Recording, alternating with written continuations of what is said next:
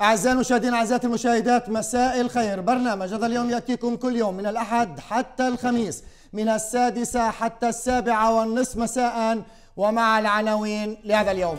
مقتل رجل الأعمال أحمد زودي عثامني من باقة الغربي وإعلان الإضراب الشامل. وعقد جلسة طارئة في بلدية باقة الغربي والشرطة. تصدر أمر حظر نشر. فيديو يوثق مناوشات في مستشفى هلال يافي في الخضيرة بعد إعلان وفاة رجل الأعمال أحمد زهدي عثمني من باقة الغربي إغلاق نهرين بالشمال إثر شكوك بإصابات بمرض البكتيريا اللولبية النحيفة ومستجمون في أنهر بالشمال يشتكون من أعراض مرضية. ما هو مرض البكتيريا اللولبية النحيفة؟ وما هي عوارض الإصابة وطرق العلاج؟ بعد قليل سنكون في سلم للتحدث مع دكتور نسرين غانم زعبي. أخصائية أمراض العدوى في قسم الأمراض المعدية في مستشفى رمضان ببث مباشر النائب نيفين أبو رحمون تبدأ بمزاولة أعمالها في الكنيست بعد استقالة النائب السابق وائل يونس. بعد قليل سننتقل للناصرة للحديث معها ببث مباشر. الشرطة تضبط طنا من اللحوم في مدينة الناصرة غير صالحة للأكل الآدمي. وزارة التربية والتعليم تصرح لم يتم إلغاء الوظائف البيتية. ما مدى إقبال العائلات العربية على المكتبات لتجهيز أبنائها بالكتب والقرطاسية قبيل حلول السنة الدراسية؟ مدير عام مكتبة المعتز من كفر مندا رفعت طه يجيب عن هذا السؤال وأسئلة أخرى لهذا اليوم. إلى أي مدى ينشط طلاب المدارس في الأعمال الفنية في المخيمات الصيفية في الناصرة؟ بعد قليل سننتقل إلى الناصرة للتحدث مع مدير كلية الفنون كريم شداد ببث مباشر. الفنان عماد جبارين يقوم بإخراج مسرحية صنعة الحياة التي تعالج قضايا العلاقة الزوجية والعزوبية. بعد قليل سيكون معنا في الاستوديو ببث مباشر. هذه العناوين في برنامج هذا اليوم عبر القناة الفضائية. هلا ببث حي ومباشر ونبدأ. ما هو تقييم قيادة القائمة المشتركة لمظاهرة تل أبيب؟ وماذا بعد مظاهرة تل أبيب؟ كيف سيتم العمل لإلغاء قانون القومية؟ ما مدى تجاوب اليسار اليهودي مع برامج وخطط العمل التي أعلنت عنها لجنة المتابعة؟ وما مدى إشراك القائمة المشتركة في النشاطات التي تمت؟ ما هو مستقبل العلاقات العربية اليهودية في البلاد بعد سن قانون القومية؟ وماذا يقول اليمين الإسرائيلي بخصوص قانون القومية؟ وإلى جانب آخر مقتل رجل الأعمال أحمد زودي عثمني من باقة الغربي يعيد. إلى المشهد موضوع جرائم القتل المستمرة في البلدات العربية. هل من خطط عمل؟ هل من برامج؟ حول مجمل هذه التساؤلات وغيرها أستضيف معي هنا في برنامجنا اليوم النائب دوف حنين من القائمة المشتركة والنائب عبد الحكيم حاج يحيى من القائمة المشتركة ونفتالي بن سيمون مرشح الليكود للكنيست. יחד איתנו כאן בתוכנית היום הזה בערוץ سلفيان هلا TV כנסת. دوف حنين ונפתלי בן סימון מועמד הליכוד לכנסת נשוחח גם איתם על ההשלכות של חוק הלאום על היחסים בין יהודים וערבים شلوم شلوم عرف طوف عرف اهلا طوف. وسهلا بكم مساء الخير مساء الخير. ننتقل الان بالصوت والصوره مباشره الى مدينه الناصره اذا عضو الكنيست النائب نيفين ابو رحمون تبدا بمزاوله اعمالها في الكنيست بعد استقاله النائب السابق وائل يونس ماذا تقول عن أزمة التناوب التي كانت؟ ما هي المهام التي ستقوم بها؟ وماذا تفكر عن مستقبل المشتركه وتمثيل النساء في العمل السياسي والبرلماني؟ ننتقل بالصوت والصورة مباشرة إلى مدينة الناصرة للتحدث مع النائب عضو الكنيست نيفين أبو رحمون من القائمة المشتركة عضو الكنيست النائب نيفين أبو رحمون مساء الخير. مساء النور. هلا بلال لك ولجميع المستمعات المشاهدات والمشاهدين. إذا في إمكانية أخت نيفين قربي الميكروفون على أساس نسمعك منيح إذا في إمكانية. أيوه مساء الخير بلال. نعم إذا يعني بالنهاية أزمة التناوب انتهت. آه، هل آه، آه، بدأت عضو الكنيست نيفين أبو رحمون بمزاولة مهامها في الكنيست؟ نعم أزمة التناوب انتهت بلال وأنا توليت يعني بشكل رسمي المنصب يوم الجمعة بعد استقالة النائب وائل يونس ويعني بدأت بشكل رسمي. نعم كان لك زيارة للكنيست بعد استقالة النائب وائل يونس ودخولك كعضو كنيست. يعني غدا ستكون لي زيارة. مبدئيا الكنيسة في عطلة رسمية الآن عطلة صيفية. ولكن هناك حقيقة عمل خارج الكنيسة يعني قد بدأت أن أقوم به. هناك عمل مع الناس مع يعني متابعة بعض القضايا. فيعني رسميا هناك عمل من يوم الجمعة. توقعتي عضو الكنيسة فينا أبو رحمون بأنه في هذا الأسبوع ستدخلين كعضو كنيسة وتبدأين بمزاولة مهامك وأن آه، النائب السابق وائل يونس سيقوم بتقديم الاستقالة مثلما وعدت الحركة العربية للتغيير؟ نعم يعني بدون شك كان هناك آه، يعني آه، رسالة رسمية من العربية للتغيير للتجمع حول استقالة النائب وائل يونس وقد تم ذلك حسب آه، آه، ما أرسلوه لنا. وأنا الآن يعني آه، يعني بعد كل هذه الإخفاقات دعني أقول يعني والمماطلة من المركبات المشتركة وأخيرا انتهت يعني أزمة التناوب. نعم أنت تعلمين عضو الكنيسة نيفين أبو رحمون أنه طيلة هذه الفترة دائما اسمك كان يذكر. في الإعلام في البرامج وأنت تعلمين مع أنه في قضية أزمة التناوب لم تخرجي بهذه يعني بهذا الموضوع لم تخرجي كثيرا لوسائل الإعلام خلال هذه الفترة آه، عندما تم تداول اسمك آه، كعضو آه، كنيسة من خلال أزمة التناوب ماذا شعرتي؟ يعني بنهاية الأمر نحن نتحدث عن أزمة تناوب يعني بين أحزاب وبالتالي أنا ألتزم إلى قرارات التجمع يعني في حينه وبنهاية الأمر يعني كان الموضوع مطروح على الأجندة الإعلامية بشكل قوي لأنه كان موضوع حقيقة يعني يشغل الناس أيضا ليس فقط الأحزاب على مستوى المركبات السياسية يعني وبالتالي آه، آه، كان الموضوع مطروح بقوة. يعني كان هالعمل السياسي فيه مفاجآت حقيقة وكان الواحد دائما بيكون مستعد يعني لهيك آه، يعني محطات سياسية. وبنهاية الأمر يعني ما حدث في أزمة التناوب أو في كل موضوع التناوب كان يمكن أن يكون بشكل آخر الصراحة ويعطي رسالة مختلفة للناس ولا ويعطي يعني رسالة مختلفة حتى للعمل المشترك ولقواعد العمل المشترك بين المركبات السياسية. ولكن نحن اليوم يعني أيضا ما بعد التناوب أمام مرحلة سياسية يعني صعبة ليست سهلة تحتاج منا إلى وحدة الصف تحتاج منا إلى إلى وحدة العمل المشترك أمام هذا التصعيد الإسرائيلي ما بعد قانون القوميه اللي هو عمليا تكريس لسياسات إسرائيلية نعم. التي تحاول يعني محاصرة الفلسطيني محاصرة العمل يعني السياسي وبالتالي يعني هذا يتطلب منا يعني وحدة الصف حول خطاب آه، يعني موحد حول مشروع يعني آه، موحد يحاول أن يطرح يعني تحديات أمام آه، يعني إسرائيل خصوصا بعد أن كشفت عن نفسها كنظام كولونيالي واضح في هذا القانون. نعم عضو الكنيسة نيفين أبو رحمون هل باعتقادك أزمة التناوب التي كانت يعني انتهت الآن بدخولك للكنيسة؟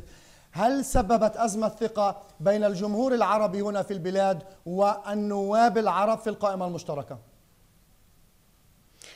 يعني قد يكون بالفعل بلال إنه شكل يعني إشكالية لدى الناس لأنه الموضوع يعني كان مطروح على مدار سنة كاملة اللي كان ممكن إنه إحنا آه، يعني نحله بساعات لمجرد احترام قواعد العمل المشترك والالتزام بالاتفاقيات.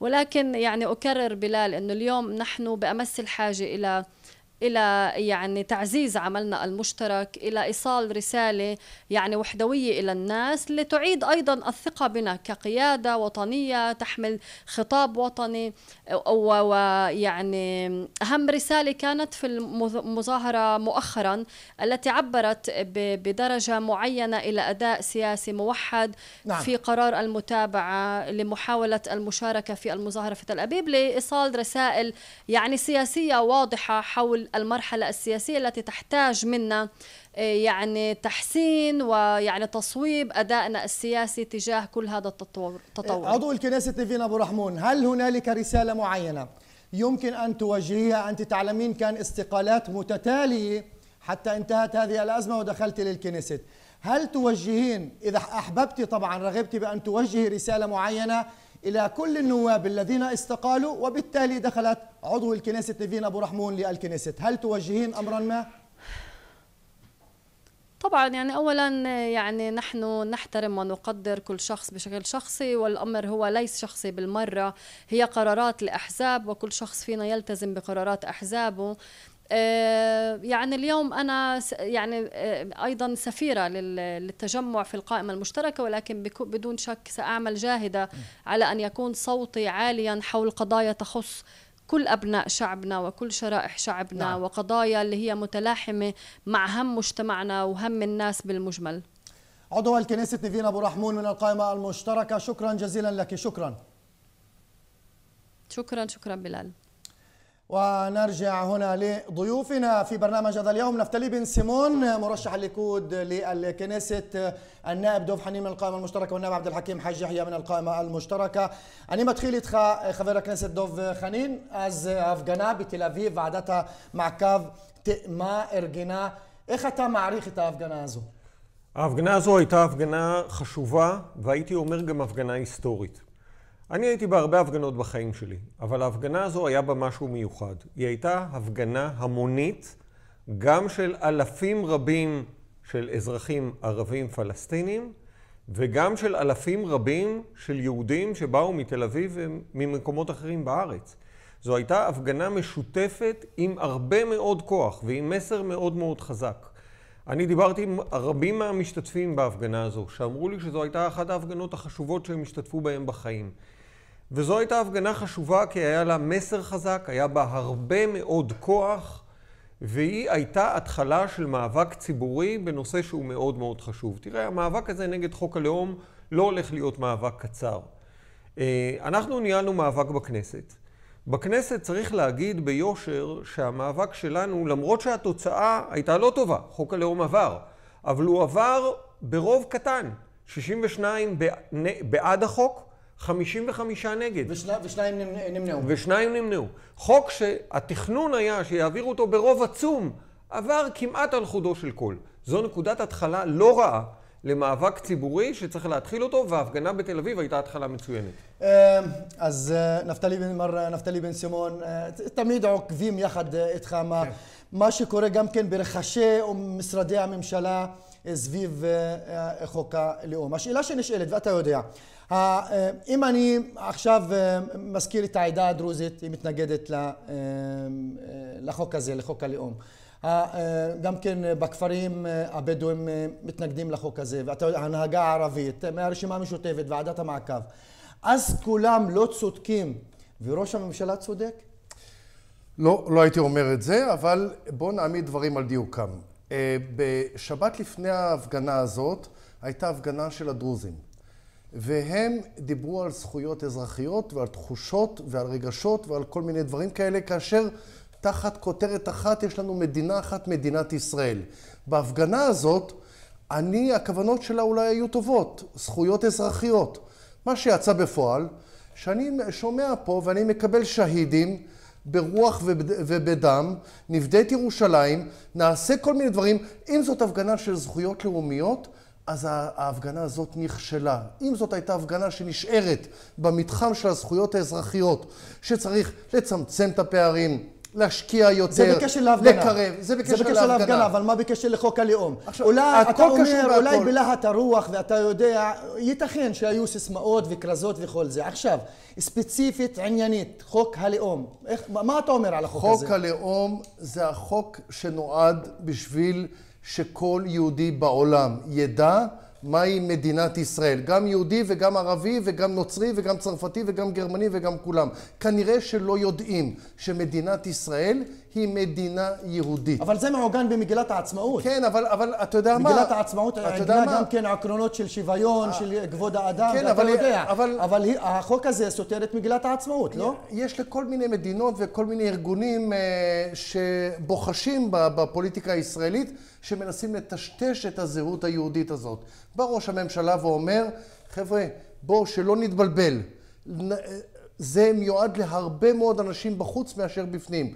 זאת מדינה יהודית, הלאום הוא יהודי ודמוקרטי. איך אתה מסביר, מר נפתלי בן סימון, שהידיד שלך, אתה יודע, חבר אה, הכנסת אה. בני בגין נמנע, הוא לא הצביע כן. בעד החוק הזה, ומה הוא אמר? אני מתריע לא להצביע לחוק הזה, כי זה מראה יותר לאומנות מאשר לאומיות. מה אתה אומר? והוא אוקיי. חבר אה, בליכוד. אז א', החוק הזה התקבל, ובסופו של דבר היה לו רוב והוא התקבל. יכול להיות שיהיו תוספות או שינויים או כל מיני דברים כדי מה שנקרא אה, לסגור הרמטית את, ה, את התפיסה הזאת, אבל בלב של החוק הזה אי אפשר לטעות, שלא נתבלבל. שם המשפחה, שם, השם הפרטי זה מדינת ישראל ושם המשפחה זה יהודי. מה עם הדמוקרטיה? כמו שלך יש, קוראים בילאל אוקיי, שלעטה בסדר, ולא בסדר. דב חנין. זה בסדר גמור. מדינת אתה- ישראל אתה- ויהודי. אוקיי, אתה עכשיו, את, את הפן האזרחי אתה הזכרת מדינת ישראל, את כן. הפן הדתי, הלאומי. היהדות אתה הזכרת, אבל מה עם הדמוקרטיה? זאת המדינה, מה עם הכי- הדמוקרטיה? זאת המדינה אחת הכי דמוקרטית בעולם. זאת המדינה שבה המיעוטים פה משגשגים ופורחים הכי הרבה בעולם. אין אח ורע להצלחה של המיעוט כאן לעומת מיעוטים אחרים בעולם. הלוואי, נפתלי, וזה היה קורה אתה- בצרפת, אתה- באנגליה, בגרמניה, יש להם מה ללמוד מכאן. נפתלי, תרשה לי אז בילאל קודם כל שאלה. דמוקרטיה, שלא נתבלבל, זאת המדינה הכי דמוקרטית בעולם. האם אתה מכיר מדינה דמוקרטית אחת בעולם, שראש הממשלה שלה ביום הבחירות כן. עולה לשידור ומזהיר את הציבור שאזרחים, בני המיעוט הלאומי, במקרה שלנו ערבים, כן. עושים את הדבר האלמנטרי, באים להצביע בבחירות. והוא אומר, הערבים נוהרים להצביע בבחירות. נכון. זה, שמעת פעם באיזושהי שלטון- מדינה דמוקרטית בעולם, ש-. ש- שמעת באיזושהי אה, מדינה... אתה יודע, הסיסמה הזו, ההצהרה הייתה מפי ראש ראש הממשלה. אתה זוכר, בצרפת, לא. נפתלי, אני- בצרפת. כן, אתה כן. פעם שמעת ראש ממשלה צרפתי שאומר, טוב. שימו לב, האזרחים נשמע- היהודים לא, הולכים לא, להצביע? רק- כן, רק- נפתלי, רק כן, אני רוצה לשמוע, רק כן. תשובה קטנה, אני לפעמים מתבלבלים, אה, נתניהו הוא לא מורה לספרות או להיסטוריה או לפילוסופיה, הוא פוליטיקאי.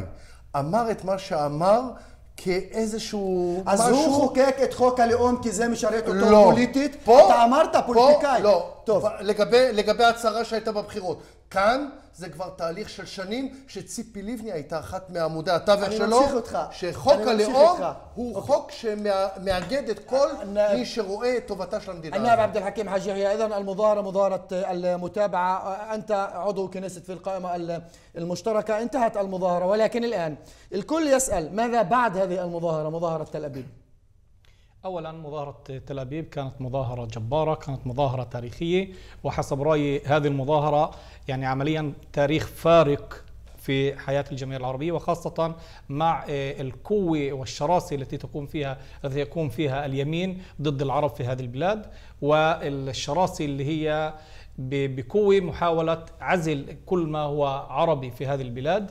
ابتداء من اللغة وابتداء من الحق في في المسكن من ابتداء من الحق في تقرير المصير من الحق في في المساواة من الحق في الديمقراطية كلها طبعا تركها هذا القانون. وخاصة إنه لم يذكر ال- المواطنين العرب بجملة واحدة لم نذكر يعني القانون هذا لم يذكر المواطن العربي فيه ولكن خطواتنا القادمة. سألت عن الخطوات القادمة. نعم. إيه، بدأنا الخطوات في الكنيست في اخرها كان المظاهره في عندنا تواصل. مع الأمم المتحده في عندنا تواصل مع الاتحاد الأوروبي في عندنا وصلنا لمرحلة إنه لجنة هذا هذا خارج حدود الدولة. ماذا هنا؟ عم بالدولة شو شو في؟ نعم. انت اسأل السؤال استنى جواب انت. شو محل تخطب انت بس هون؟ يلا- يلا، نجاوب. ما هو انت بطلع نجاوب. لفاصل آه، بدك تطلع هي. نرجع- نعم. بعد الفاصل الفكرة هي إنه إحنا الخطوات مستمرة. مهم جدا إنه شعبنا لما طلع بهذه الآلاف وعشرات الآلاف اللي طلع للمظاهرة هو فهم خطورة هذا القانون. لهذا السبب من توقعاتنا إنه كل خطوة نقوم فيها سواء في المشتركة أو في سلطاتنا المحلية أو في لجنة المتابعة راح يكون لها صدى وإحنا مستمرين في النضال ضد هذا القانون. منه سياسيا بالتواصل مع أحزاب أخرى ومنه عمليا في الشارع. سأستمر معك أني ممشيخ تخم. نخرج الآن لفاصل من ثم نعود ونواصل. وأيضا سنكون مع موضوع جدا يهم المشاهدين والمشاهدات موضوع البكتيريا اللولبية النحيفة. مستجمين من الشمال توجهوا للمستشفيات لتلقي العلاج. سنكون مع هذا الموضوع. نخرج الآن لفاصل من ثم نعود ونواصل.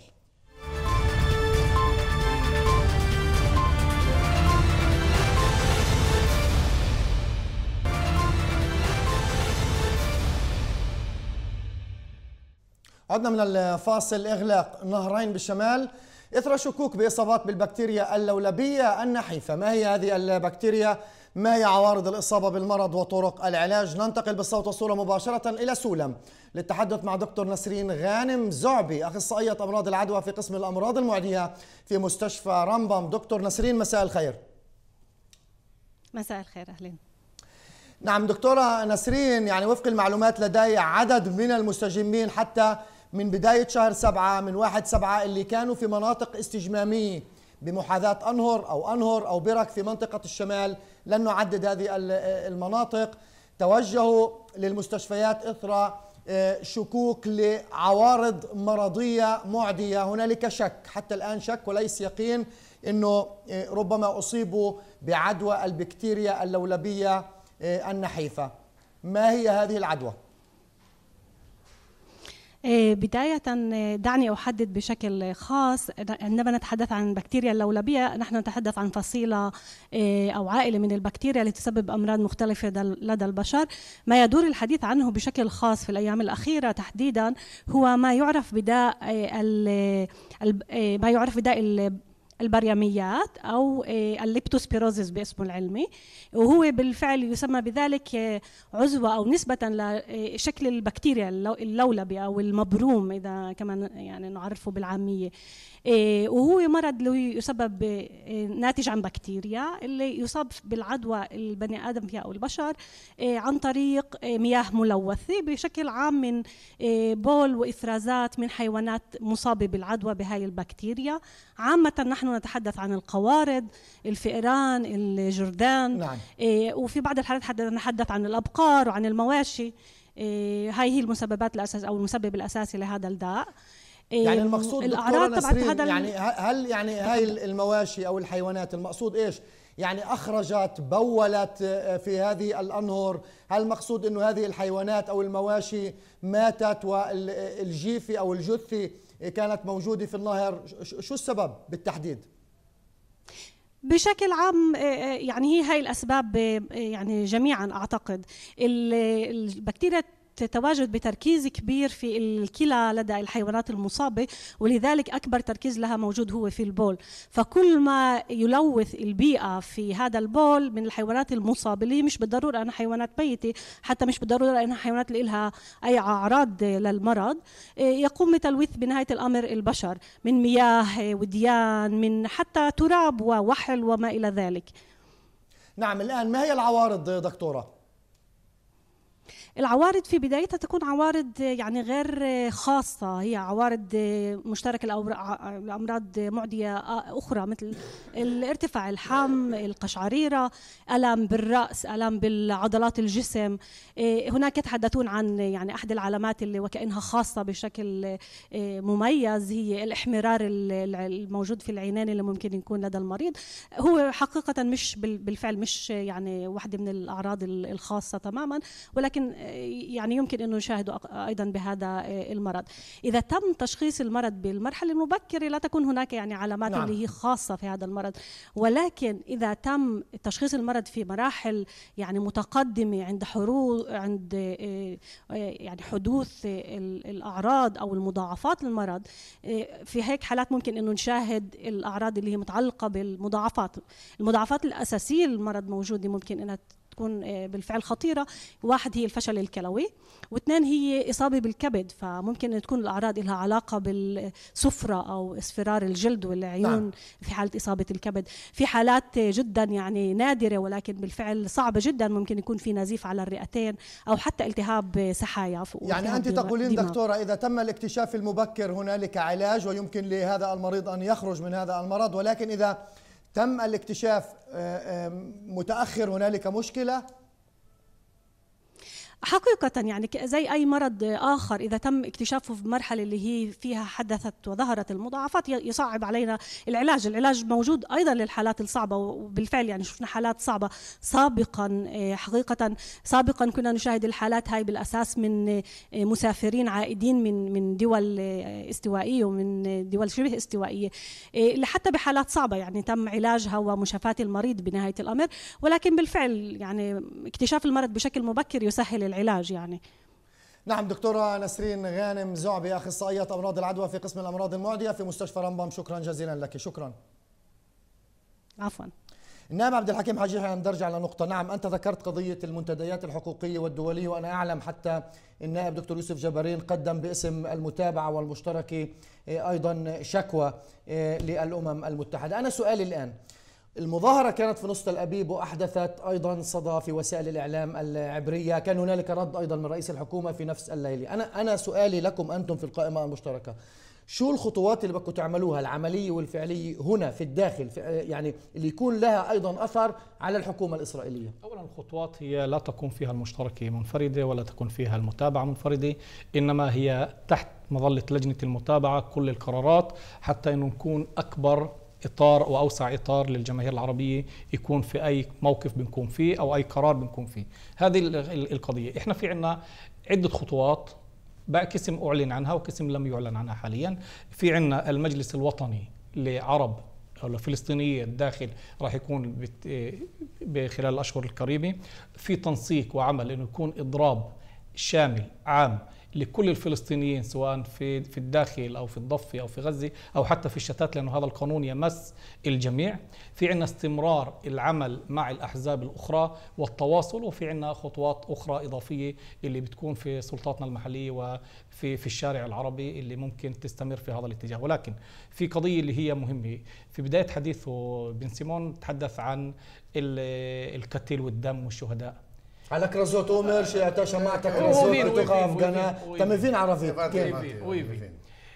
الرسالة اللي كانت واضحة لمظاهرة تل أبيب كانت يلغى قانون الابارتايد العنصري ما يسمى قانون القومية. هذا هذه هي الرسالة المركزية اللي كانت وهذه هنا في مجموعة صغيرة بت- بتقول شعار هناك شعار.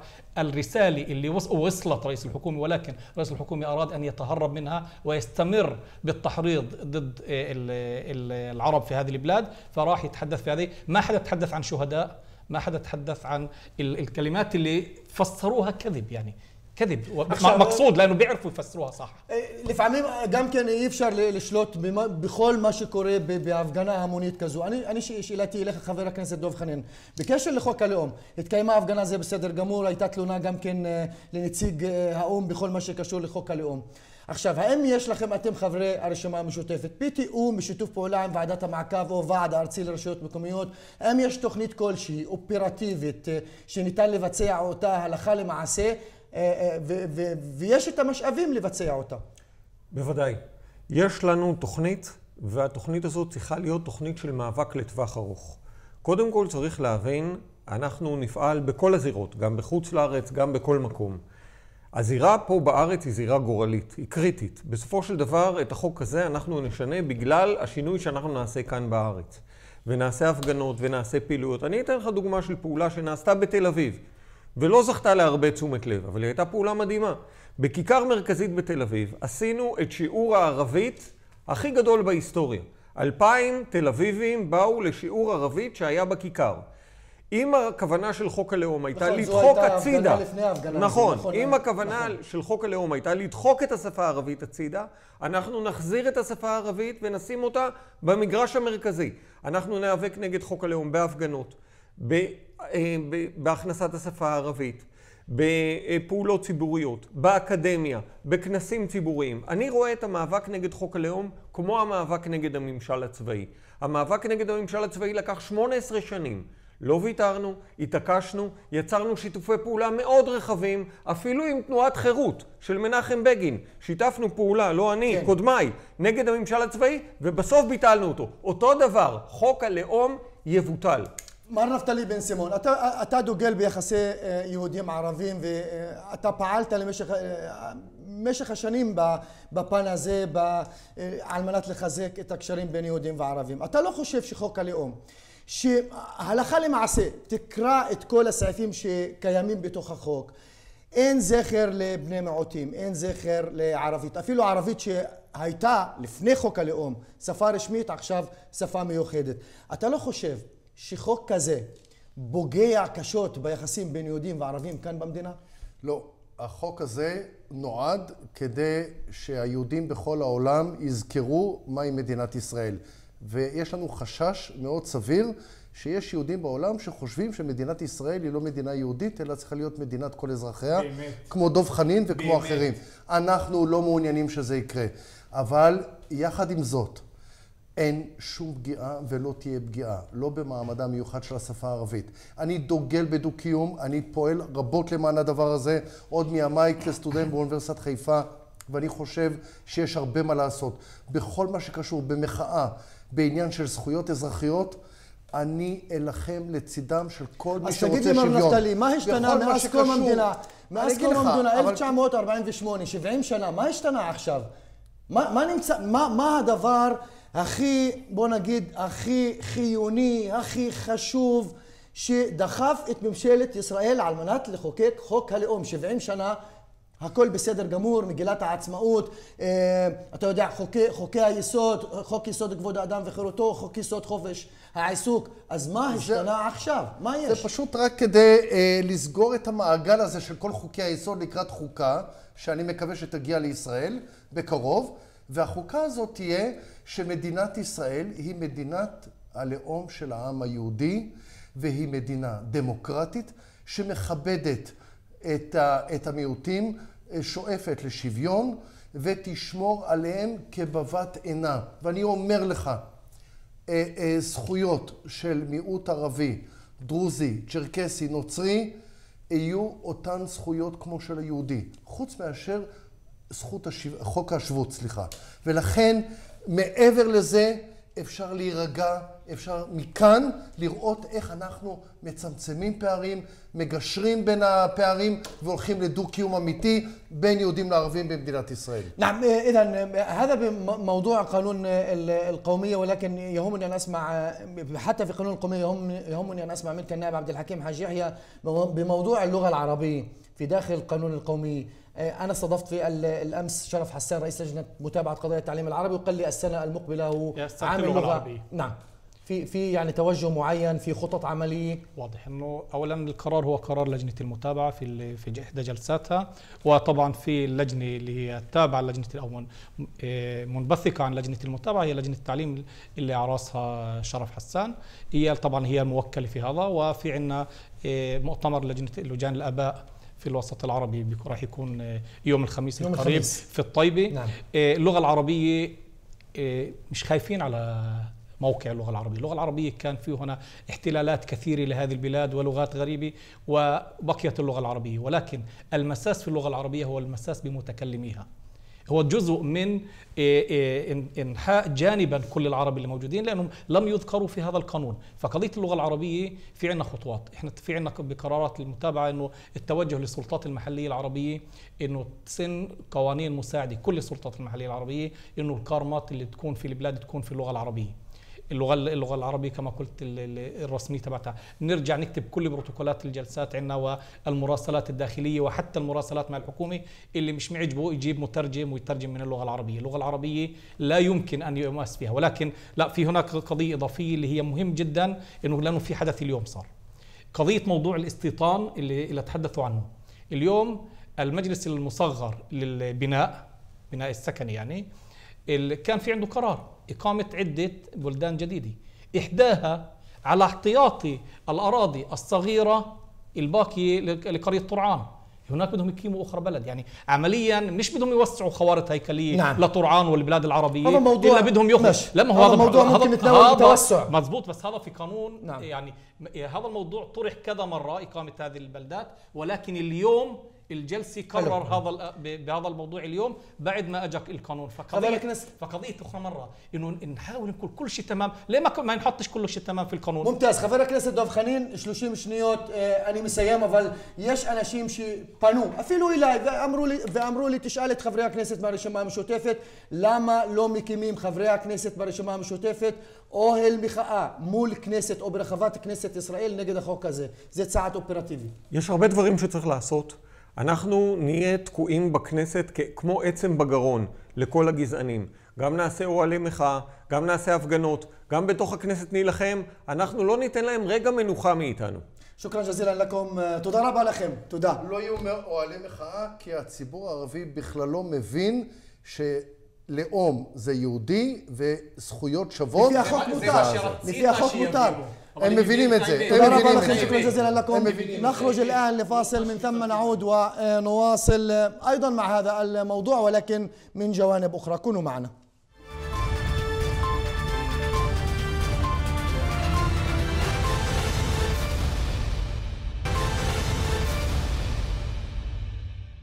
عدنا من الفاصل. ماذا تقترح الآن لجنة المتابعة بخصوص قانون القومية؟ وماذا تقترح القائمة المشتركة؟ ماذا عن القيادات التربوية والشعبية والجماهيرية بهذا السياق؟ أستضيف معي هنا في برنامج هذا اليوم إبراهيم حجازي رئيس المكتب السياسي للحركة الإسلامية ورئيس لجنة العمل الشعبي في لجنة المتابعة ودكتور أثار حاج يحيى. الباحثة الأكاديمية والمحاضرة في كلية بيت بيرل. أهلا وسهلا بكم دكتور أثار أهلا فيك. والأستاذ إبراهيم أهلا فيك. نعم إذا أخ إبراهيم أنت رئيس لجنة العمل الشعبي في لجنة المتابعة تابعت وكبت. وأنا كنت حتى بتواصل معك قبل المظاهرة للاطلاع على التفاصيل وكل هذه الأمور. الآن أنا بدي أسمع منك تقييمك لل- للمظاهرة التي كانت في تل أبيب. هل ما تم إقراره في داخل لجنة المتابعة تم تنفيذه على أرض الواقع في داخل تل أبيب؟ بسم الله الرحمن الرحيم. يعني بداية حالة الغضب العارم التي كانت عند الجمهور وما زالت في الداخل الفلسطيني إثر هذا القانون الفاشي العنصري التي سنته الحكومة اليمنية الفاشية. هذه حالة الغضب يعني كانت مصاحبة في البداية مع أنه رغبة في أنه افعلوا كذا من دون أن يتحرك الجمهور. نجحنا خلال أسبوعين بفضل الله عز وجل ومن خلال أدوات عديدة أن نحرك حالة الغضب إلى فعل. والفعل الأول والأكبر الذي كان هو أن شارك عشرات الآلاف في هذه المظاهرة التي كانت في تل أبيب. وهذا الفعل أو هذا العمل ليس مفهوما ضمنا. يعني كان في الخلفية عمل تنظيمي جماهيري شعبي شارك فيه مئات الناشطين والأكاديميين واللجان الشعبية السلطات المحلية الأحزاب كلها مجتمعة معا حتى وصلنا إلى وضع كانت هذه المشاركة الحاشدة الكبيرة في قلب تل أبيب. الآن أخي الكريم اتخذنا هناك جملة قرارات في لجنة المتابعة وكان على رأسها أن نبدأ بهذه المظاهرة سبقها الوقفات الاحتجاجية وسيتبعها طبعا خطوات عديدة. يوم الأربعاء في عندنا اجتماع تقييم وسنحدد بعض الخطوات الأساسية النوعية التي ستوصلنا إلى مؤتمر الجماهير العربية الذي سيكون نهاية العام. من خلاله سنحدد البوصلة الرؤية السياسية الوطنية التي سنجدد من خلالها التعاقد مع أبناء شعبنا. نقول لهم هذا هو مشروعنا الذي نريد أو كيف نريد أن نكون خلال عشر سنوات؟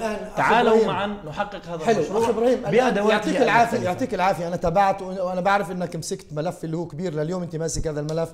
رئيس لجنة العمل الشعبي في لجنة المتابعة وتابعت تنظيم المظاهرة وهي مسؤولية كبيرة.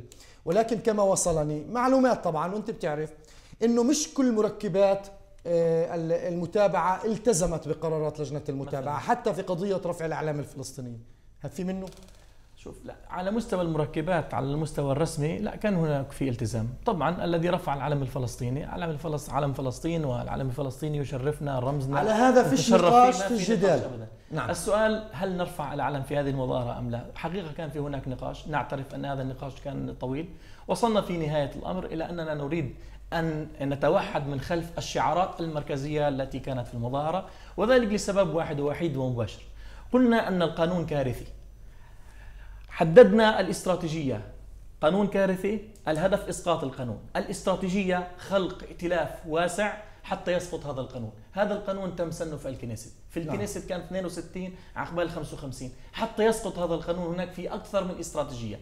واحد منها الشعبي لكن في هناك الضغط الدولي وفي هناك العمل البرلماني وفي هناك القضائي. كلها نفعلها معا. بالنسبة للعمل الشعبي العمل الشعبي سيوحد حوله ائتلاف شامل.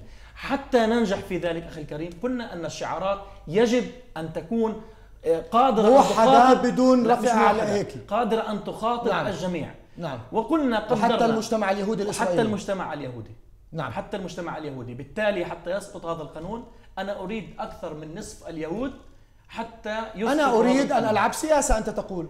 كلها لعبة سياسية إسرائيل عم بتلعب بعالم كله سياسي نعم. أجل الوقت إن إحنا كمان نعرف نلعب سياسي نعم. ماشي حلو ويجب حبنا لفلسطين وحبنا لهذا الوطن الكبير يجب أن ينقلنا من مرحلة المراهقة إلى مرحلة النضج حلو. والذين لا يجدون لعب السياسة عليهم أن يسألوا أنفسهم ما الذي أفعله في سياسة متغيرة وفي واقع إقليمي طاحن يطحن كل الشعوب تحت إمرة من؟ إمرة نعم. رغبات محصورة بين غرب متمثل بالولايات المتحدة وبين إسرائيل وغيرها.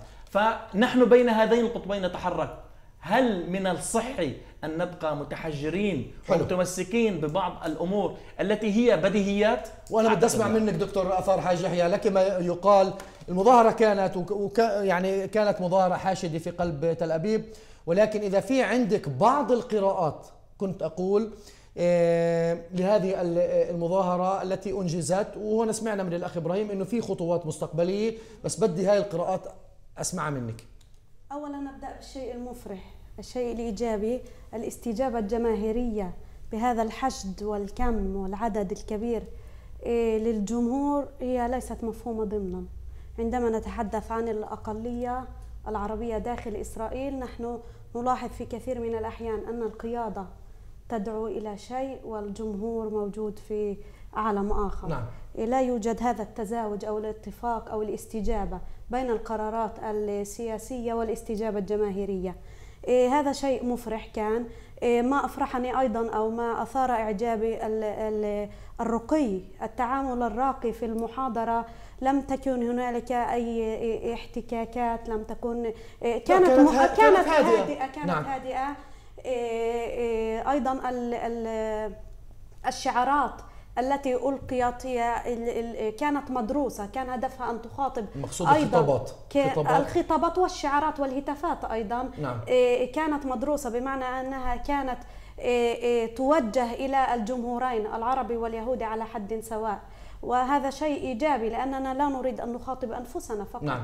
نريد أن نوصل رسائلنا إلى الجانب الآخر. واذا إذا أردت أن تشيري بإصبعك على نقطة معينة للدراسة للدرس شو شو من, من هذه المظاهرة؟ قضية الخلاف. ألاحظ أن أبسط الأمور تثير زوبعة أحيانا زوبعة في فنجان. قضية الخلافات حول قضايا إيه، ربما تكون صغيرة وتفاصيل صغيرة. بالنسبة أيضا أمر آخر بالنسبة لرفع الأعلام الذي تمسك به الإعلام الإسرائيلي وناسيا أو ضاربا عرض الحائط الهدف المركزي والجوهري من المظاهرة والتمسك بفقط رفع الأعلام. أنا لا أرى أن هذه الأعلام تهدد أو, أو تشكل خطر على الدولة ولكن من جانب آخر أطرح تساؤل هنالك أهداف معينة وهنالك وسائل تلائم كل هدف يجب أن ندرس أولا وهذا ما طرحه الأخ إبراهيم الآن نعم, نعم. نعم. يجب أن ندرس أولا الهدف ثم نبحث عن الوسيلة الملائمة لتوصلنا إلى هذا الهدف الذي نصب إليه نعم. ولكن بالنسبة لرفع الإعلام أنا من وجهة نظري الشخصية لم يك... لم تكن هذه المسي... الوسيلة تحقق الهدف الذي نصب إليه في جذب الشارع اليهودي نعم. الإسرائيلي نعم. نعم. وحتى للعب اللعبة السياسية بحكمة نعم. نعم بالضبط عرفنا مسبقا أن الإعلام الإسرائيلي سيتمسك بهذه الأعلام وينسى وهذا اللي صار وهذا اللي صار نعم وهذا ما تمسك به نتنياهو وحاول أن يضمه إلى صفه الآن أنا بدي بس أسألك سؤال وبدي أخذ رأيه للأستاذ إبراهيم. هل ترين إنه كان في دور؟ طيب ماشي القيادة السياسية قاعدة قد إيه بتقدر بتعمل؟ ولجنة المتابعة قد إيه بتقدر إنه بتعمل؟ ولكن عندنا إحنا قسم كبير من الباحثين والأكاديميين والمحاضرين والمفروض يكونوا الناشطين الاجتماعيين. وين دورهم بكل ما يجب؟ هذه هذه القطيعة بين السياسي والجماهيري هي قطيعة سيئة جدا. ولا آه، تؤدي إلى الوصول إلى أهدافنا أو إلى تقدمنا. السياسي يتغنى من جانب ببحر والجمهور في بحر آخر في في واد آخر. يجب أن أن يكون هناك تكاتف ومشاركة فعلية. السياسي يستطيع أن يلجأ إلى الأكاديمي إلى المختص في مجال البحث إذا تحدثنا مثلا عن نعم. اللغة العربية. يستعين بقدراته يستعين بخبرته يستعين بتجربته يضمه إلى صفه وبالعكس أيضا. هنالك قطيعة انفصام ما بين السياسة ما رأيك؟ وبين ما رأيك؟ ما بين السياسة وما بين البحث ما بين رجال الفكر اللي ممكن يكونوا ذراع. أنا بعرف في موجودين بس مش خلينا نقول مش مش بكثرة يعني. بالحالة العامة أنا أتفق أنه في هناك نوعا ما هذا البعد لكن آه، نجحنا بتقليصها حقيقة يعني وأقولها ولا يعني أجامل. في هذه المظاهرة الأخيرة ونحن في التحضيرات أقول بكل صدق يعني شارك في التحضيرات العشرات من المثقفين والأكاديميين والناشطين الاجتماعيين غير المحزبين واللجان الشعبية والأحزاب جميعهم. ما كنت ترى هذا المشهد لو أنك كنت مكاني يوم وقفت على المسرح المنصة في هذه المظاهرة ونظرت إلى ذلك المشهد إلى هذا النسيج الهائل الذي يمثل فلسطين بكل أطيافها وألوانها. الآن نشاهد لفهمت. على ال- نعم. نشاهد على نعم. الشاشة. لفهمت أخي الكريم عما أتحدث. الجميع شارك دون استثناء. ما أرجوه؟ أن هذه الفجوة التي تقلصت تستمر في التقلص وتصبح حالة دائمة طب من؟ التعاون. والتكاتف. لا أنا أنا أقصد مش بقضية ال- الت- التنظيم وكذا وكل الشغلات. أنت بتعرف آه، أستاذ إبراهيم برضو برضو ال- الإشي ما كانش موجه للمتابعة حتى في قضية قانون القوميه عقدت بدي بدي يعني بدي أرجعك بس هيك يمكن قبل أسبوع تقريبا. كان طاولة مستديرة اللي شارك فيها بروفيسور أسعد غانم. وانت بتعرف. وايمن أغبري ومجموع دكتور أيمن أغبري ومجموعة من الباحثين. ودائما إني بقعدوا دكتور مهند مصطفى أعتقد كان موجود هناك. بقعدوا بحاولوا إن يعني يعطوا النصيحة ورسائل. الآن لا أتحدث عن لجنة المتابعة ممكن لجنة المتابعة ولكن أيضا أعطوا النصائح والرسائل للقائمة ال- المشتركة. هل قيادة الجمهور ال- العربي هل لديها الجاهزية بأن تستمع لهؤلاء؟ وكثير بيحكوا على فكرة. إن لم تستمع ستفقد أهليتها في القيادة. لا يمكن أن تظل يعني آه، مغلق العينين ولا تسمع ما يدور حولك. هؤلاء أناس اجتهدوا تحصلوا على العلم وعلى الفكر وعلى المعرفة ويجب علينا جميعا أن نستمع الواحد منا إلى الآخر الميداني إلى المثقف والمثقف إلى السياسي وهكذا. أخي الكريم يعني أنا أقول لك وبصدق أن معظم الملخصات والمعظم ال- البيانات التي صدرت التي فيها اقتراعات وصلت إلى الجميع واستمعنا إليها جيدا وقرأناها جيدا، جزء منها يتحدث عن مناحي استراتيجية ومستويات استراتيجية، وجزء منها يتحدث على أفعال أو أمور ينصحون بها على الفعل على المدى القريب والمتوسط، أخي كلها وضعت أمامنا، لكن لجنة المتابعة تعمل بإجماع وبتوافق، لا يمكن إنه أنا أتخذ قرار لا أستطيع أن أتخذ قرار متطرف إلى حد معين دون أن يكون عليه إجماع. نعم. الأمر الأكيد أن المسألة الاستراتيجية وهو مؤتمر الجماهير العربية لن يتم إلا بتضافر جميع الجهود، وأنا من هنا أقول لكل أبناء شعبي بمثقفيه بناشطيه بعامليه بكادحيه جميعهم علينا أن نوحد البوصلة آه، بعد أن نبني رؤية سياسية وطنية جامعة واضحة نجدد التعاقد مع أبناء شعبنا نقول لهم يا أبناء شعبنا هذا هو مشروعنا للسنوات العشر أو العشرين القادمة تعالوا بنا نعم. نتكاتف حتى ننجح هذا المشروع بهذه الاستراتيجيات حلو. وبهذه الأهداف حتى بهذه الوسائل حتى بدك نحقق تحكي شيء الأهداف. دكتوره أنا أظن أن ال- القيادة والسياسيين يجب أن يبحثوا أو يتساءلوا لماذا وسائلهم واستراتيجياتهم المختلفة لم تنجح بتجنيد جماهيري لم تنجح بإيقاف التطرف والعنصرية والعمل وترجمة الشعارات الرنانة والخطابات إلى أعمال فعلية على أرض الواقع لماذا لم تنجح؟ هذا التساؤل يجب أن يتساءله كل مسؤول وكل سياسي وكل عضو كنيست وكل منتمي لأي حزب أنا لا أنا بشكل شخصي إيه، لا مما أتابعه دائما عبر صفحات التواصل الاجتماعي لا أرى إن أن إلا أن السياسة تفرقنا أكثر مما تجمعنا اختلاف بسيط قد يؤدي إلى شجارات و و و مشحون، محادثات جو مشحون. وجو مشحون نعم. إيه، قبل قبل فترة يعني حتى الآن الاختلاف بين مؤيدي بشار. إيه، ومعارضي. معارضي بشار يعني وصل لحد التخوين و... وشطب أسماء و... و...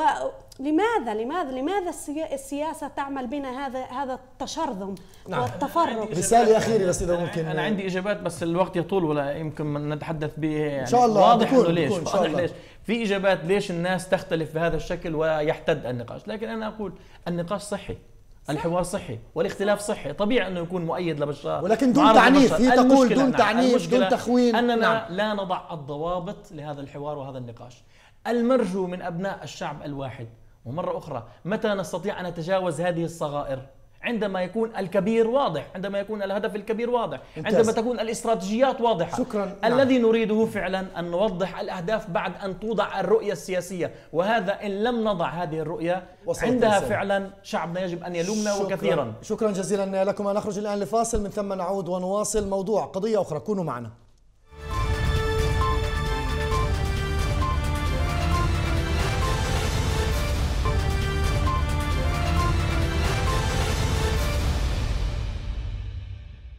نعم عدنا من الفاصل إلى موضوع النشاطات الفنية لطلاب المدارس في الناصرة.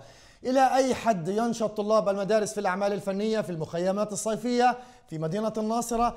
هل تشهد مدينة الناصرة صحوة فنية؟ ننتقل بالصوت والصورة مباشرة إلى الناصرة للتحدث مع كريم شداد مدير كلية الفنون في مدينة الناصرة. أستاذ كريم مساء الخير. يسعد مساك أهلا وسهلا. بداية أستاذ كريم هل حقيقة هنالك صحوة فنية في مدينة الناصرة؟ طبعا هاي حقيقة. حقيقة وإشي على مستوى عالي جدا في كل أنحاء الناصرة وكل مؤسسات الناصرة ونواديها وكل اللي يعني بيشتغلوا بهذا الموضوع. صحوة كتير بمستوى عالي جدا.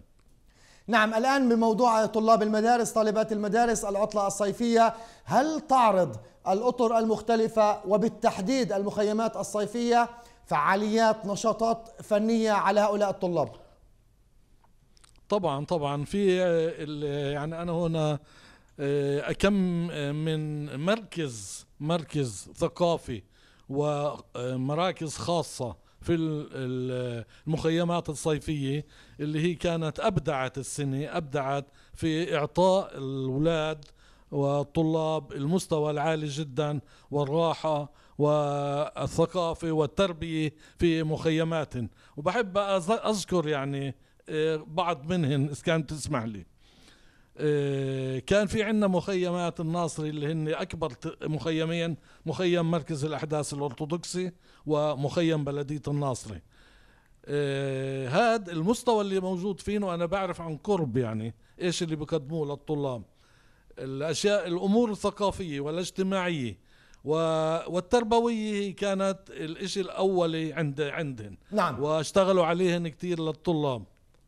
ومشان هيك وكانوا كمان غير آه، ال- الأمور اللي حكيتها كانوا يدعموا ويطوروا المواهب الموجودة في المخيم مش يتركوا الولد بس يعني آه، روح اركض نعم. بهذا الموضوع التربوي التربوي والدعم الفني هل تلاحظ آه، آه، أستاذ كريم أنه يعني في الفترة الأخيرة في اهتمام أكثر بتشخيص مواهب الطلاب الفنية والعمل على تحفيزها وتدعيمها؟ نعم موجود يعني والمقياس على هاي الشغلة هي كلية الناصر للفنون وباخذ على كل المؤسسات اللي موجودة. يعني اليوم إحنا مش بنعلم مش قبل زي قبل عشر سنين وخمس سنين. اليوم ال- استقبال الولد والاهتمام فيه مجالات تختلف كتير عن المجالات اللي كانت موجودة أول. يعني أعطيك مثال كمان عندي. آه، إحنا اليوم بالفرصة الصيفية مجموعة من شباب وبنات كانوا يحضروا ولليوم آه، لكونسرت غنائي. نعم. شوف كونسرت غنائي من تلحين وغناء الأستاذ فوزي السعدي اللي هن بيشتغلوا عليه. اليوم أنا كنت أحضر معهن. إشي المزبوط يعني آه، بتصفن وبرفع الرأس. نعم شكرا. وهذا نعم. الإشي مش بس عندنا نعم أستاذ كريم آه، يعني معذرة لضيق الوقت. شكرا جزيلا آه، لك على هذه المعلومات والملاحظات. شكرا جزيلا. الله يسعدك. يا هلا بيك. أهلا وسهلا. نعم وإلى موضوع المكتبات تجهيز الطلاب الطالبات للسنة الدراسية المقبلة. إلى أي مدى تقبل العائلات العربية على المكتبات في هذه الفترة؟ ما هي المصروفات؟ وخاصة أن المجتمع العربي مقبل على عيد الأضحى المبارك. ماذا عن الأسعار؟ معي هنا في برنامج هذا اليوم رفعت طه مدير عام مكتبة المعتز من قرية كفر آه، مندا. آه، أستاذ رفعت مساء الخير. مساء الخير. أهلاً وسهلاً بك. أهلا فيك أهلا فيك. إذا في مناسبتين في عيد الأضحى المبارك.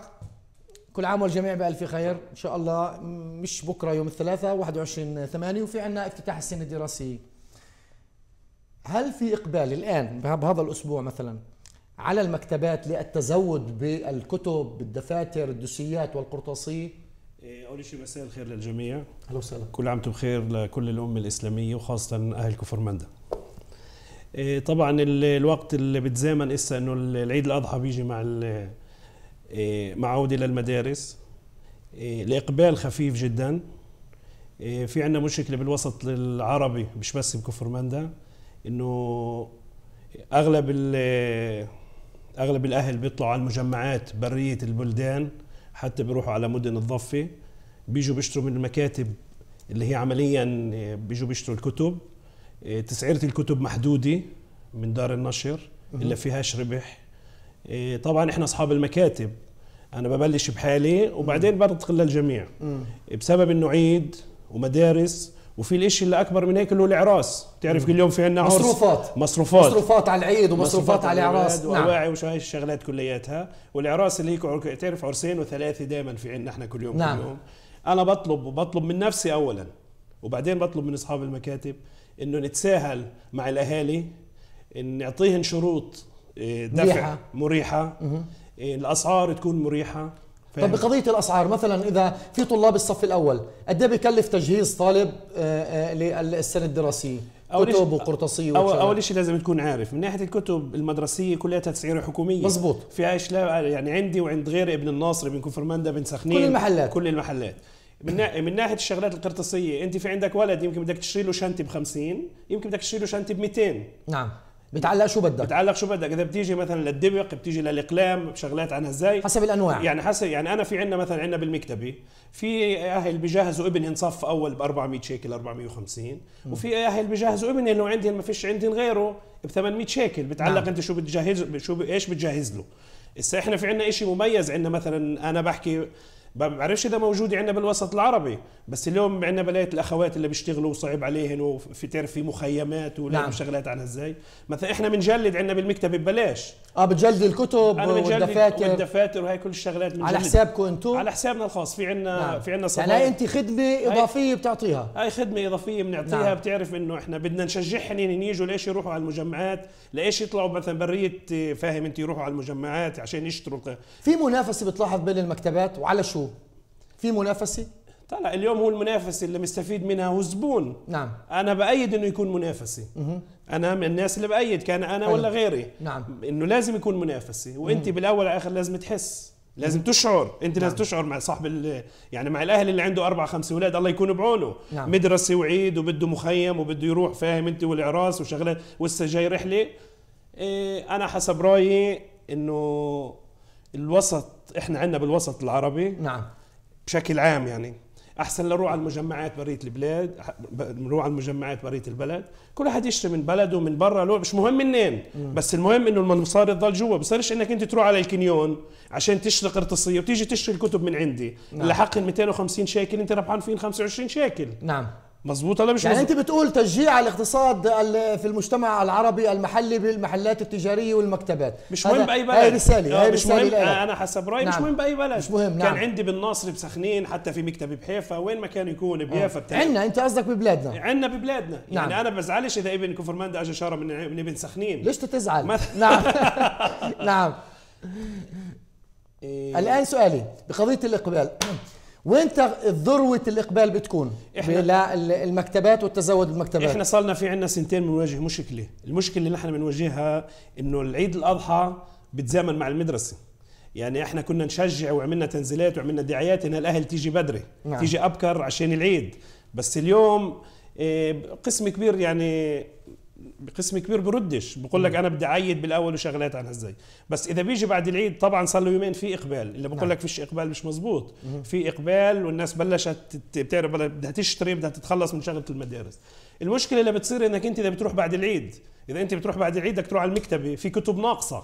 لأنه تزودوا المواطنين بها وبدك تستنى. بدك تستنى. أو عندك دور النشر. واوعك تنسى إحنا اليوم يعني الكتب اللي عندنا كلياتها كتب أصلية مش مزيفة مش مزيفة وإحنا تطرقنا لهذا الموضوع في هنا في برنامج إحنا اليوم. وأنا نعم. بأكد وأنا بناشد كل صاحب مكتبه كان نعم. نعم. موجود عنده كتب مزيفة أو كان في عنده حقائب أو إيش ما كان يكون مزيفة أنا حسب رأيي الشخصي أنا بناشده من هون نعم. نعم. بناشده هاي الشغلات يعني بتضر بطلابنا يعني بصيرش أنت تروح على طالب بصف مثلا صفحة خلينا نقول صفحة 40 نعم. نعم. هو بيتعلم وهو بيتعلمش الله يعطيك العافية على هذه النصائح والرسائل ونأمل للجميع أيضا يعني عيد مبارك عيد الأضحى المبارك وسنة دراسية موفقة إن شاء الله. شكرا وأنا جزيلا لك. بقول أخرى مرة كل نعم. عام وأنتم بخير وإن شاء الله بتنعاد علينا سنة خير وسلام ومحبة على الجميع. مدير عام مكتبة المعتز رفعت طه شكرا جزيلا لك. من كفر مندا نخرج الآن لفاصل من ثم نعود ونواصل موضوع قضية أخرى.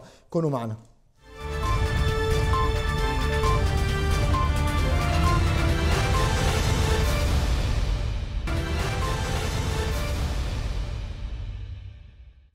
نعم عدنا من الفاصل. مسرحية صنعت الحياة تعالج العلاقات الزوجية والعزوبية. الفنان المسرحي المخرج والمحاضر الجامعي عماد جبرين أخرج وعرب نص هذه المسرحية. مسرحية, صنعت الحياة. ما هي فكرة المسرحية وإلى ماذا تهدف؟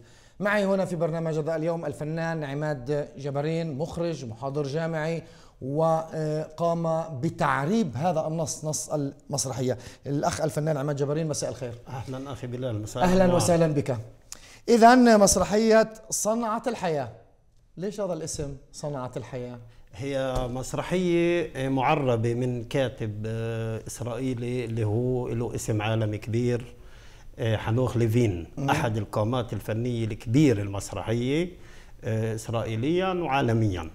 فإحنا كان بمسرح السرايا وأنا شخصيا في كان عندي تصور إنه لازم آه، يكون عندنا لقاء ثقافات وخاصة أنه المسرحية تزامنت نعم. مع قانون المواطنة الجائر. قومية نعم. قانون ال- القومية الجائر بحق المواطنين العرب بالداخل. فالأبعاد تلاقت وهي أفضل طريقة حسب رأيي يعني كان من ناحية مسرحية إن نشارك بهذا النضال بلقاء ثقافات اللي هو يتجاوز حواجز العرق الدين والطائفة وال وتعالج هذه المسرحية مسرحية صنعت الحياة تعالج آه، مثلما ذكرت لي العلاقات الزوجية والعزوبية طبعا هي آه، مسرحية فلسفية. المسرحية تعالج عمليا موضوع التزاوج القسري الإكراهي نعم. بم- بمفهوم المفروض علينا بالعلاقات الزوجية على وجه الخصوص والعلاقات الإنسانية على وجه العموم. نعم.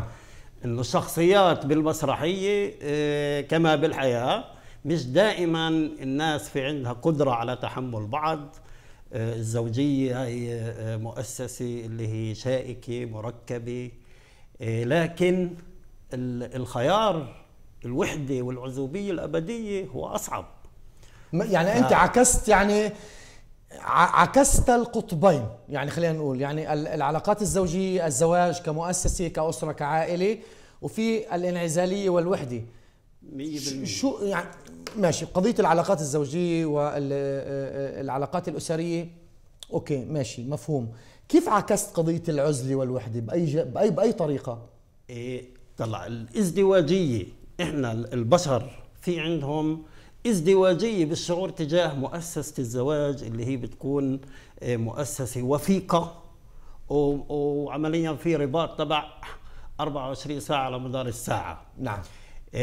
ففي ازدواجية إنه من ناحية في إيه، إيه، طواقين للحرية المطلقة وإنه يعني هو كأنه تنزل آه، أعباء الزوجية والمسؤوليات هاي ومن ناحية ثانية لما يجربوا الوحدة الوحدة القاتلة في ليلة شتاء باردة حسب حلو. المسرحية إيه، بيرجعوا للحياة الزوجية مع كل يرجعون. إلى المسار الطبيعي مسار الزواج. لا هو م- المسارين طبيعيات. يعني إذا في إنسان بيختار إنه هو ما بده يتجوز بده يعيش الحرية ال- المطلقة هو لا أنا خيار. اقصد ما فرضته الطبيعة التزاوج التكاثر. 100%. نعم هذا هذا ما, طبعا ما قصدته. طبعا. أوافقك. نعم الآن بموضوع ال- المسرح. بما إنه أنت محاضر آه، وفي هذا المجال مجال ال- المسرح هل هنالك إقبال من قبل أبنائنا وبناتنا في المجتمع العربي على دراسة موضوع المسرح؟ إيه طلع في إيه في إقبال وفي إقبال كمان من ناحية مش إنه في تخصص. يعني في كثير طلاب اللي ما بدهم يتخصصوا مسرح لكن بدهم يفتحوا أفاقهم بهذا المجال. وأنا مثلا من تجربتي سنوات طويلة كمحاضر بالجامعة المفتوحة بالداخل إيه،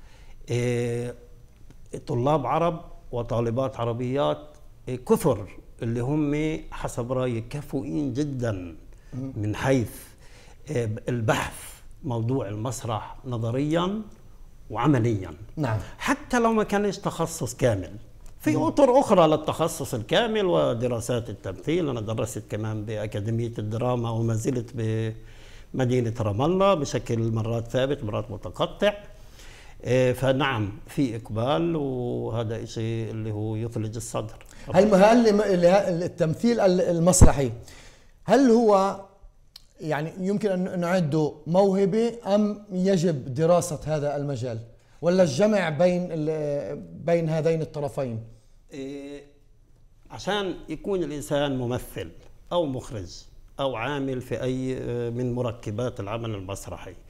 مطلوب إنه يكون قدرة مولودة مع الإنسان بس نعم. هاي القدرة لا تكفي برأيي إنما يجب إيه، اكتساب التأهيل المهني والنظري مثلا بمسرحية زي آه، صنعة الحياة اللي بينتجها نعم. مسرح السرايا بيافا مسرح آه، مهني في عندنا طاقم ممثلين رائعين نعم. اللي هم واضح إنه في عندهم شيء من الولادة بس هم كلهم خريجين معاهد عليا بالتمثيل. المسرح والتمثيل. نعم وأحب أذكر طبعا الفنانين المشاركين الممثلين لأن أنا المخرج معرب النص الممثلين هم نعم.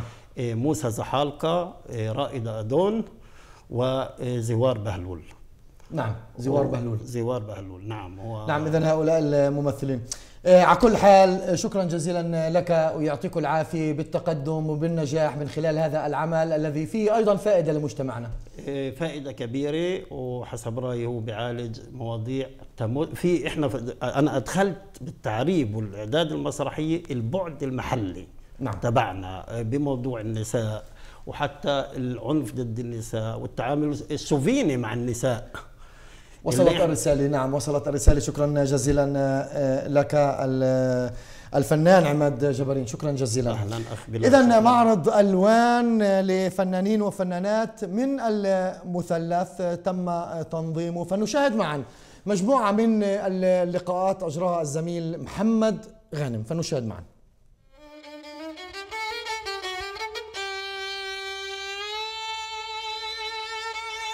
أنا صراحة من زمان زمان أنا بحب الفن وبرسم من وأنا صغيرة. بما إني مرشحة لعضوية بلدية الطيرة شفت بنات اللي هن بحاجة إلى دعم إيه تواصلت معهن عن طريق الفيس تشجعن جمعن بلوحاتهن. أنا واقفة قدام لوحة لإلي. لما رسمتها كان كل فكري إنها تعبر عن إشي جواتي. اللي كان بوقتها البنت اللي بترمح وراء أحلامها وراء طموحاتها اللي بتغير عوالمها. أنا كفنانة تشكيلية معنية في إنه آه، فني يوصل للمجتمع اللي أنا عايشة فيه وخاصة بلدي.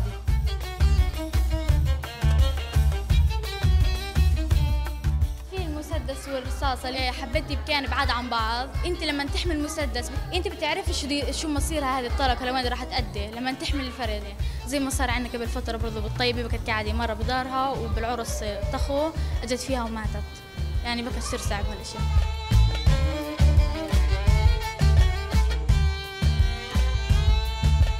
عندي موهبة يعني بالرسم وأنا حبيت أطورها وعن طريق فوتني يعني الدورات وهيك. ميولي طبعا أزيد يعني للطبيعة والفنون. بشجع كثير أنه يضلهم يعني يكرروا هاي المعارض. لأنه بالنسبة لي مثلا بكت تشجيع كبير وأكيد لغيري في تشجيع. أنه انت مش بس بترسم لنفسك بالعكس بترسم وبتعرض للناس. إيه هن اللي شاركن في الرسم في عشر صبايا من البلد واحد من جد ثنتين من الطيبة واحد من كفر برا. شاركن وحابين انهن يرسمن ويطلعن كل مواهبهن. هذا أولى معارض المنتدى التشكيلي الطيراوي راح يكون لك قدام راح يكون دعم لكثير بنات اللي برسمن ما حدا بيعرفهن إلى هنا ننهي برنامج هذا اليوم عبر القناة الفضائية على ببث حي ومباشر. أطيب الأمنيات وأجمل التحيات من طاقم العمل المحرر الرئيسية لبرنامج هذا اليوم فريدة جابر برانسي مخرج قناة هلا ساري جابر. مدير التسويق في القناة سامي جابر أعزائي عزيزاتي كان معكم بلال شلاطة. نلتقي بأمان الله.